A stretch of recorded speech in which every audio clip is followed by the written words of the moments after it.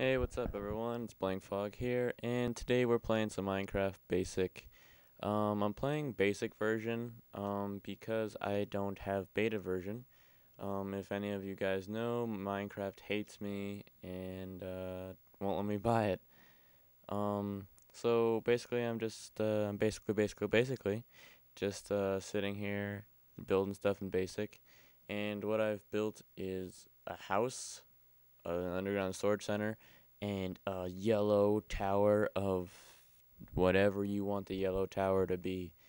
Um, in my head, when I made it, it was a sanctuary, but it it can be a yellow tower of windows if you want it to be. I I don't know. Um, this entire like I've only built the house, the dock, a basement in this tower, and maybe took me like an hour, hour and a half. I don't know. Um, I have been watching Minecraft videos on YouTube like all day, and I have been dying to play the game, but sadly I do not have the game, so I'll just play basic version. Right now, the building we're in is uh, we're under my house, and it's uh, like the basement storage center, creation center. And since in Minecraft Basic you can't create anything, um, I have no uh, craft benches and or storage crates.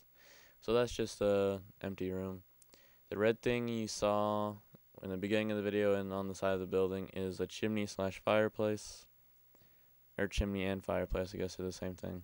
But anyway, it's uh, the end of the video, guys. Hope you enjoyed.